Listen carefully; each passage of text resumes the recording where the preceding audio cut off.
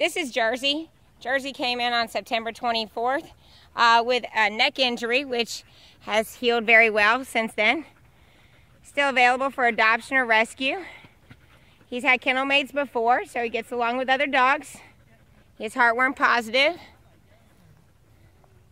So I just need a home now. He's enjoyed his time out today.